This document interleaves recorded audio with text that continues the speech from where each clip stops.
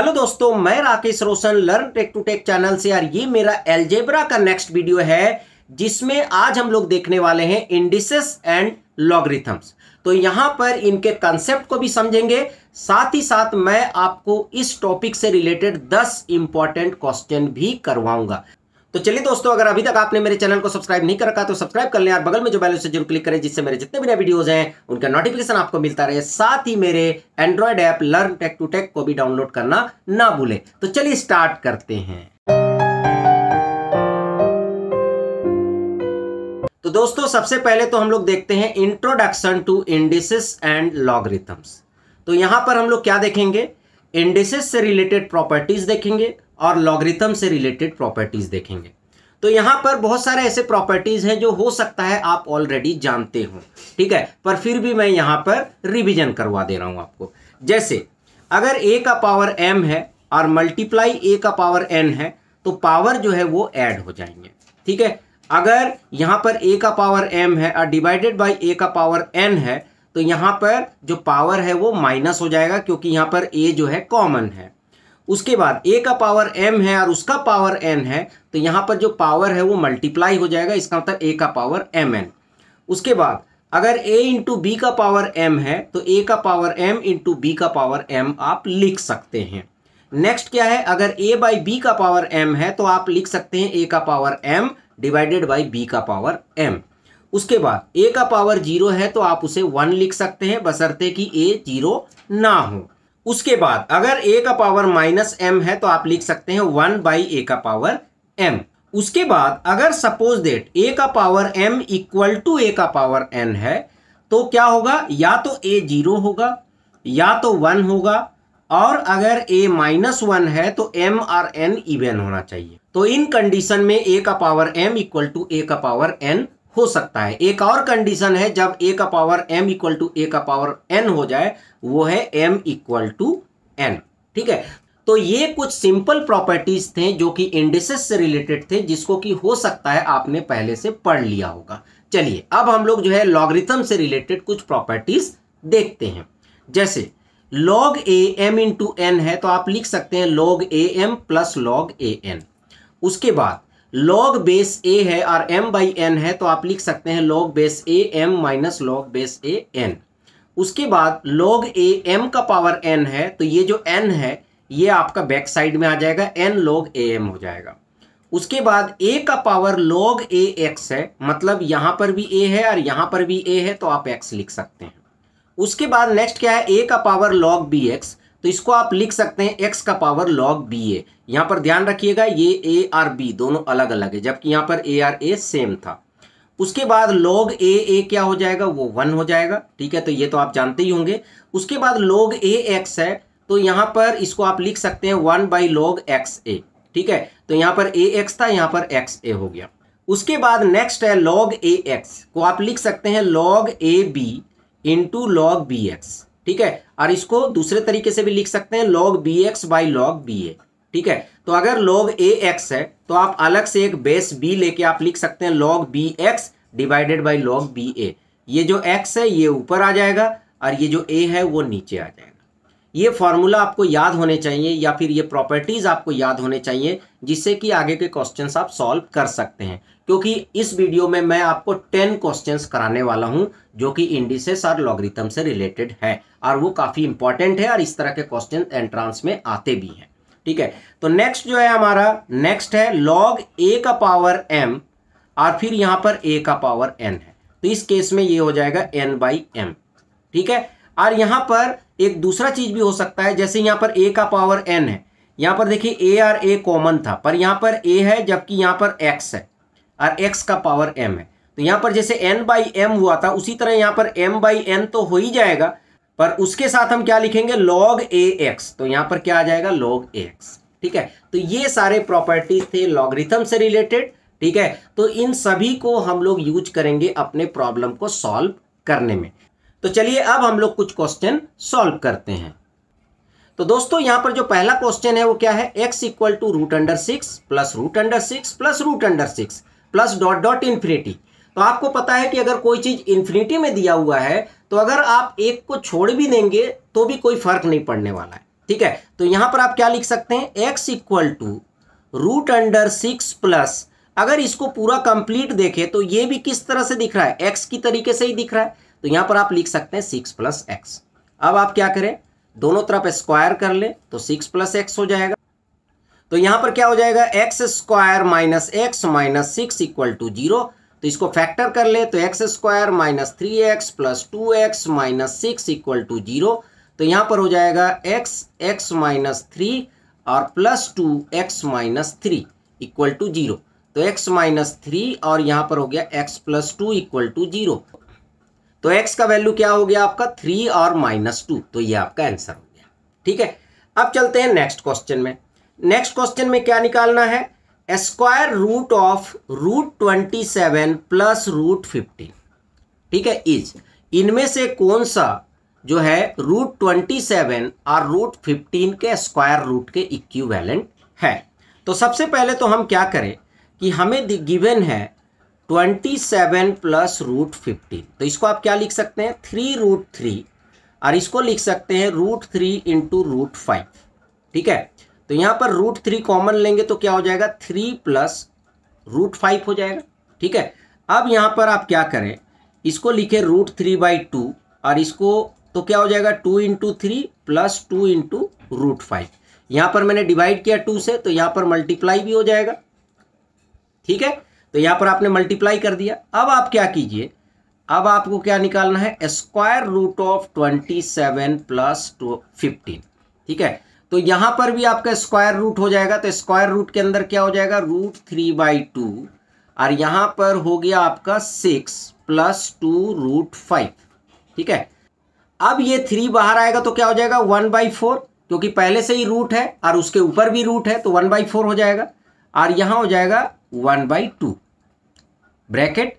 Six को आप क्या लिख सकते हैं? फाइव प्लस वन, और फाइव प्लस वन को आप लिख सकते हैं रूट फाइव का होल स्क्वायर प्लस वन और टू रूट फाइव, ठीक है? तो यहाँ पर आप देख सकते हैं कि इसको आप क्या लिख सकते हैं? रूट फाइव प्लस वन का होल स्क्वायर। तो होल स्क्वायर होगा तो रूट हट जाएगा। तो यहाँ पर हो जाएगा थ्री वन बाई फोर, और यहाँ पर हो गया रूट टू, और यहाँ पर हो गया रूट फाइव प्लस वन। तो रूट टू को अंदर कर दीजिए तो थ्री वन बाई फोर तो यहाँ पर हो जाएगा फाइव बाई टू, और रूट वन बाई टू। तो यहाँ पर देख लीजिए कौन सा ऑप्शन है तो शायद ये वाला ऑप्शन है। थ्री का पावर वन बाई फोर और root five by two plus root one by two. ठीक है? तो ये आपका आंसर हो गया। ठीक है? अब नेक्स्ट क्वेश्चन है कि if five to the power x equal to zero point five to the power y equal to one thousand ठीक है? तो then one by x minus one by y is equal to मतलब आपको value निकालना है one by x minus one by y का। चलिए तो अगर आप फाइव का पावर एक्स को के मान लेते हैं तो क्या हो जाएगा? फाइव इक्वल टू के का पावर वन बाई एक्स उसी तरह ज़ीरो पॉइंट फाइव का पावर वाई को आप के मान लेते हैं, क्योंकि क्या है? ये तीनों इक्वल है। तो ये हो जाएगा one by two equal to के का पावर वन बाई वाई ठीक है? तो यहाँ पर हो गया टू का power minus one equal to के वन बाई वाई ठीक है? तो इसको अगर आप फिर से लिखेंगे तो टू इक्वल टू क्या हो जाएगा? के माइनस वन बाई वाई। ठीक है? उसके बाद आप टेन का पावर क्यूब इक्वल टू के लिख सकते हैं, क्योंकि यहाँ पर एक हज़ार है तो एक हज़ार भी इनके इक्वल ही है। ठीक है? तो इसको अगर आप लिखेंगे तो क्या हो जाएगा? टेन इक्वल टू के का पावर वन बाई थ्री। अब आप बताइए, आप टेन को आराम से फाइव इंटू टू लिख सकते हैं। ठीक है? तो टेन के बदले तो आप लिखिए के वन बाई थ्री। फाइव के बदले आप लिखिए के वन बाई एक्स और टू के बदले आप लिखिए के माइनस वन बाई वाई तो यहाँ पर आप देख रहे होंगे तो इससे क्लियर पता चल रहा है कि one by x minus one by y क्या हो जाएगा? वन बाई थ्री तो ये आपका आंसर हो गया। उसके बाद नेक्स्ट क्वेश्चन है the value of one by log three pi plus one by log four pi इसका वैल्यू क्या होगा? तो आप क्या करें? कि इसको ऊपर ले जाए। तो क्या हो जाएगा? पाई थ्री और लॉग पाई फोर हो जाएगा। तो यहाँ पर क्या हो गया? लॉग पाई ट्वेल्व हो गया। ठीक है? अब यहाँ पर अगर आप ध्यान से देखेंगे तो पाई जो है वो क्या होता है? Less than three point two होता है। और ट्वेल्व जो है वो थ्री पॉइंट टू का होल स्क्वायर से बड़ा होगा। क्लियर है? ठीक है? तो इसका मतलब इसको आप लिख सकते हैं log pi three point two का होल स्क्वायर और फिर यहाँ पर इसको आप क्या लिखेंगे? Log pi three point two और यहाँ पर क्या आ जाएगा? टू आ जाएगा तो that will be greater than two ठीक है? तो यहाँ पर जो आंसर होगा, वो आपका ग्रेटर देन टू हो जाएगा। ठीक है? चलिए अब हम लोग नेक्स्ट क्वेश्चन देखते हैं। यहाँ पर लिखा हुआ है कि log a m equal to x है। तो आपको निकालना है लॉग वन बाई ए और वन बाई एम का वैल्यू आपको निकालना है। तो यहाँ पर मैं लिख रहा हूँ लॉग ए का पावर माइनस वन और यहाँ पर एम का power minus one one by a है तो उसको आप लिख सकते हैं ए का पावर माइनस वन और वन बाई एम है तो उसको लिख सकते हैं एम का पावर माइनस वन तो फॉर्मूला से क्या हो जाएगा? Minus one by minus one log a m तो ये कौन सा प्रॉपर्टी से हो रहा है? तो चलिए देखते हैं, मैं आपको दिखा भी देता हूँ। तो यहाँ पर ये टेंथ नंबर प्रॉपर्टी देखिएगा। तो क्या है? लॉग ए का पावर एन एक्स का पावर एम तो ये बिल्कुल उसी फॉर्मेट में है। एम और एन के जगह वहाँ पर क्या है? माइनस वन है। तो यहाँ पर एम और एन के जगह आ जाएगा माइनस वन और लॉग ए एक्स हो जाएगा। ठीक है? तो वही चीज़ यहाँ पर हमने लिखा है।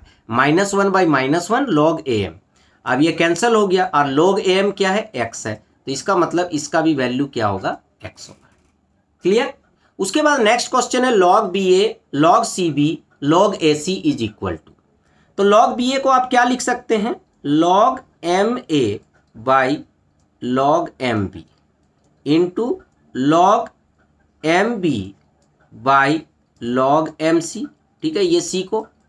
और यहाँ पर log M C by log M A इस तरह से आप लिख सकते हैं। चाहे तो आप एम ना भी लिखें, आप direct log a by log b भी लिख सकते हैं, ठीक है। तो यहाँ पर देखिए क्या है, ये कैंसल हो गया।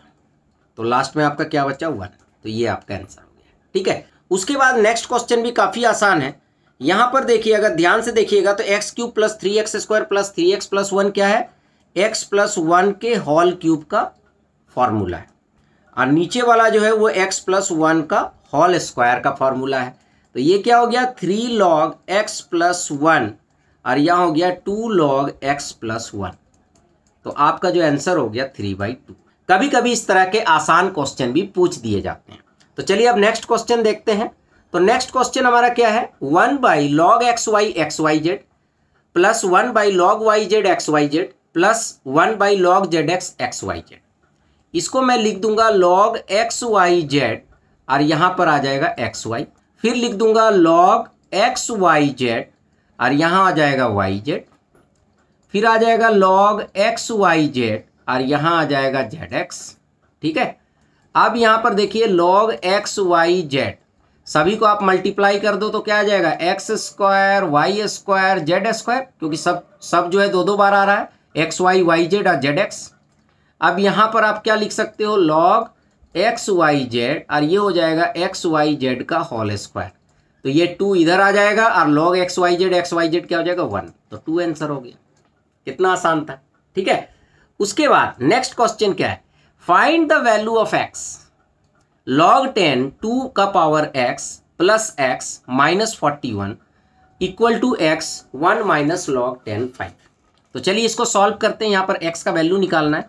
तो यहाँ पर एक्स है। लॉग वन को आप क्या लिख सकते हैं? लॉग टेन टेन ठीक है? लॉग टेन फाइव तो ये क्या हो जाएगा? लॉग टेन टू हो गया।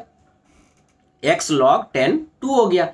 अब देखिए, यहाँ पर भी लॉग टेन है, यहाँ पर भी लॉग टेन है, ठीक है? तो इसको आप लिख दीजिए लॉग टेन टू का पावर एक्स लिख दीजिए, ठीक है? तो देखिए, यहाँ पर भी लॉग टेन हो गया, यहाँ पर भी लॉग टेन हो गया।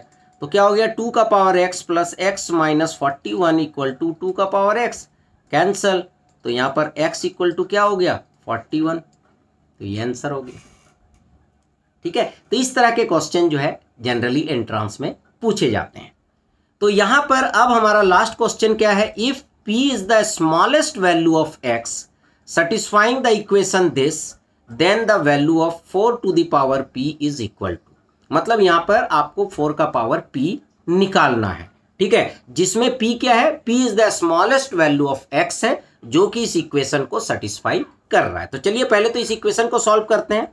तो एलसीएम लेंगे तो क्या होगा? टू का पावर टू एक्स हो जाएगा प्लस फिफ्टीन और उधर चला जाएगा eight into two to the power x तो two to the power x का होल स्क्वायर यहाँ पर हो गया eight into two to the power x plus fifteen अगर आप टू का पावर एक्स को एक वेरिएबल मान के चलते हैं तो इसको जो है आप फैक्टर कर दीजिए। तो minus five into two to the power x minus three into two to the power x plus fifteen ये हो जाएगा। तो इसको अगर आप सॉल्व करेंगे तो क्या आएगा? टू का पावर एक्स माइनस थ्री और यहाँ पर आ जाएगा टू का power x minus five equal to zero ठीक है? तो ये दो चीज़ आएगा आपके पास। तो यहाँ पर अब आप क्या लिख सकते हैं? Smallest number obtained by equating smallest number ठीक है? नंबर ऑप्टेंड बाय इक्वेटिंग तो कौन सा स्मॉलेस्ट नंबर आ रहा है? टू का power x equal to three तो इसको आप क्या लिख सकते हो? X equal to log two three लिख सकते हैं आप, ठीक है? टू का power x equal to three को आप क्या लिख सकते हैं? X equal to log two three ठीक है? अब यहाँ पर हम क्या लिख सकते हैं इसको? P equal to log two three क्योंकि यहाँ पर गिवन है कि p is the smallest value of x, ठीक है? तो four to the power p क्या हो जाएगा? फोर का पावर लॉग टू थ्री अब फोर को आप क्या लिख सकते हो? टू स्क्वायर तो आप लिखो two square log two three. अब टू लॉग टू, ये टू इधर चल जाएगा तो थ्री का स्क्वायर हो जाएगा, ठीक है? तो यहाँ पर देखिए टू यहाँ पर भी है, यहाँ पर भी टू है तो आंसर क्या आएगा आपका? Three square equal to nine तो नाइन आपका आंसर। तो दोस्तों, इस तरह से आप इन क्वेश्चंस को सॉल्व कर सकते हैं। तो इस वीडियो में मैंने आपको लॉगरिथमिक और इंडिसेस के फॉर्मूला बताए और साथ ही साथ मैंने आपको 10 क्वेश्चन भी कराया। आई होप कि आपको वीडियो पसंद आया होगा। अच्छा लगा तो लाइक करें शेयर करें कमेंट करें। और अगर अभी तक आपने मेरे चैनल को सब्सक्राइब नहीं करा तो सब्सक्राइब कर लिया और बगल में जो बैलेंस ज़रूर क्लिक करें, जिससे मेरे जितने भी नए वीडियोज़ हैं, उनका नोटिफिकेशन आपको मिलता रहा। Thank you and goodbye